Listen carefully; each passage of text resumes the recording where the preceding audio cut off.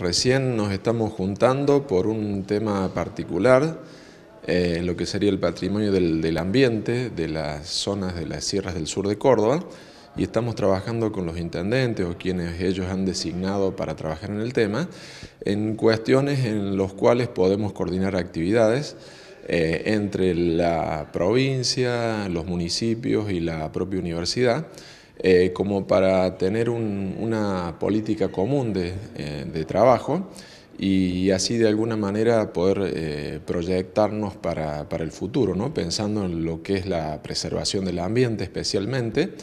hay otra, otra comisión que trabaja sobre la preservación cultural y hay otra comisión que trabaja en turismo, ¿no? la específicamente de hoy es la de ambiente.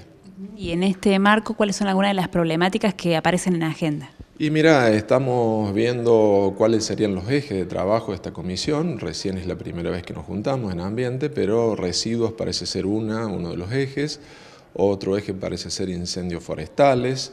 Eh, otro eje eh, parece ser energías alternativas. O sea que van apareciendo ejes comunes, eh, necesidades comunes y en los cuales la universidad ya tiene un trabajo previo eh, que evidentemente con nuevos trabajos poder poner a disposición de estas localidades para el diseño de proyectos y trabajos comunes de la región. ¿Cuáles son algunas de las localidades que están participando?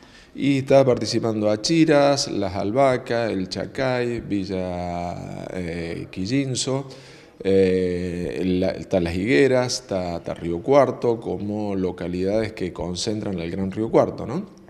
Eh, y bueno, y esperamos que con el tiempo también se incluyan algunas otras que están un poco más arriba. Nosotros pensamos que la Sierra Sur es de la cruz para hacia abajo, ¿no? o sea que precisamos también incorporar aquellas otras localidades. Eh, evidentemente estas más cercanas que te acabo de nombrar son los que más interés tienen por estar más cercanas a la universidad. ¿no?